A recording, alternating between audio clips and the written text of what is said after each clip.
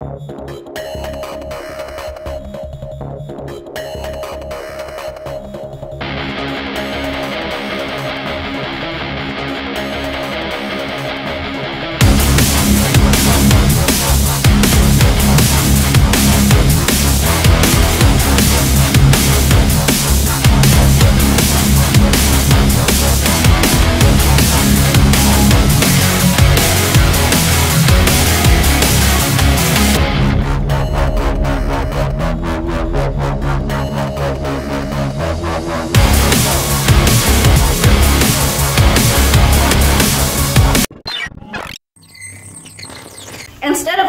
in a bucket of water, can you use a spray bottle for bigger projects? Guys, when we quench our plates, this is only for practice. We, in, in real life, we don't quench.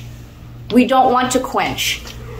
What could be the repercussion of quenching your material when it's hot? Crap, you make it brittle. Good job. you've been studying or something? Good. Well, it makes it brittle, right? So if we make it brittle, it, we're changing the inside structure of it, right?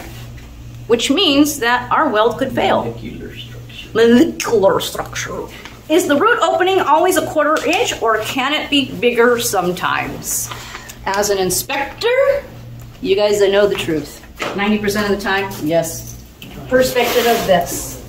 I'm TIG welding, and I'm gonna TIG weld on 11 gauge material which is roughly an eighth of an inch. Would I still want a quarter inch root opening? Bingo. So what we say is this. One half T. Yeah, I barely see. All right, uh, uh, I'm, I'm going to explain it to you. Okay, so one half T. T is equal to the thickness of the thinnest material. I know it's a lot. So if we're using 11 gauge material, and we said it's 0.125 about, then we do our math. So T is a substitute. So T is the thickness of my material. So if my material is 0.125, and we multiply it by 1 half, it's like dividing, right? 0.125 times 0.5065. That should be a root opening. So R. So in when we start to go into more towards code book and such, they use substitute letters. R for root opening. T for the thickness of the material. Usually that's the thinnest material. So root opening equals one half times T. That's that's what we're getting. So we take our plate. We could use a tape measure, but if we're using a quarter inch backing strip, we'll actually stick that backing strip back there like this, and then stick the other plate next to it, and it'll give us our spacing, and then you just pop it on top and tack it onwards. But yes, this formula is a good formula to remember. Then this will give you really good root openings for the thickness of material you're using. If we're talking about code book, we're talking about requirements for D11 testing, then we're going to use a quarter of an inch. When joining two pipes, do they also need backing like with the groove weld test? Two pipes together.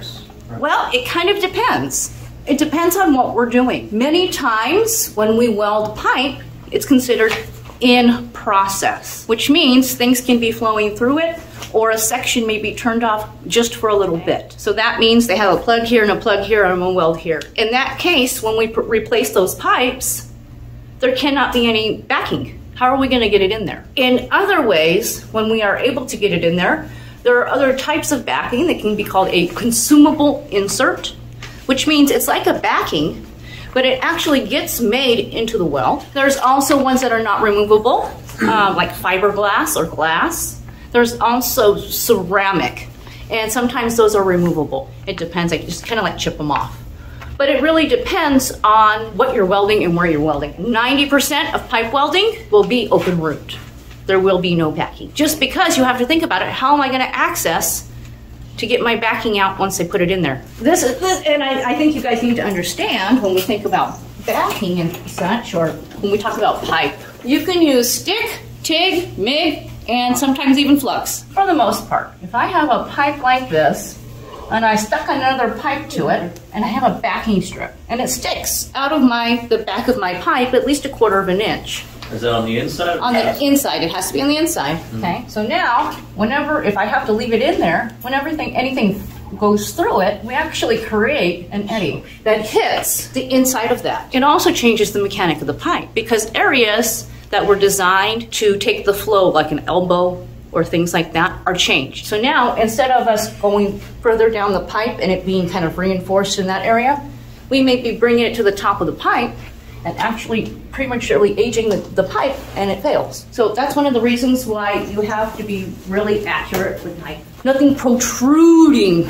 You have you cannot have anything more than one sixteenth of an inch protruding into your weld. How would I find out how long the chain intermittent weld should be so that the piece doesn't deform or when doing staggering, how long each weld should be?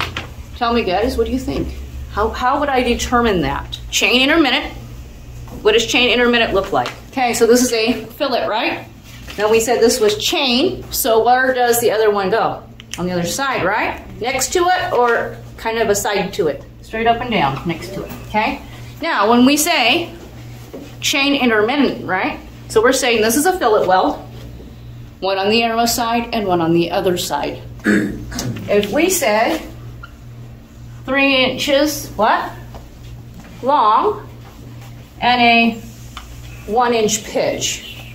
And then we're gonna say three inches long and one inch pitch. That means these are staggered, right? But they're chained together. Mm. So when it looks on our plate, so three, center to center, three, center to center, right? Now the other side's gonna look just the same.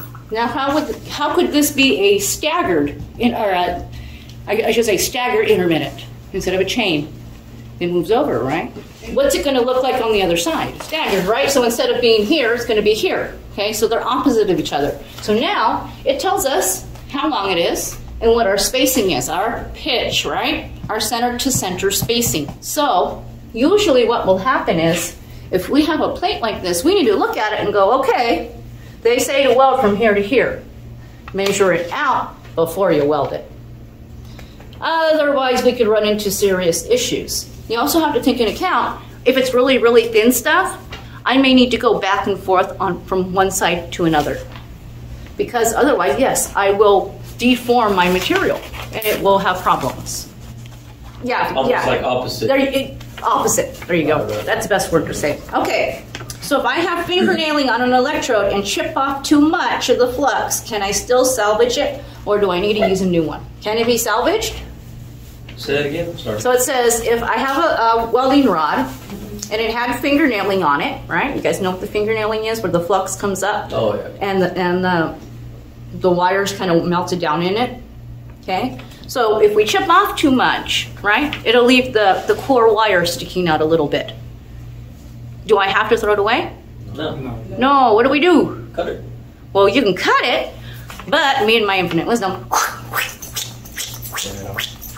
till you get to the right size, and then you go. And you just gotta be careful not to make it stick, because otherwise it is a pain. Weld the world. Please like and subscribe. Stay tuned for another part. Weld the world.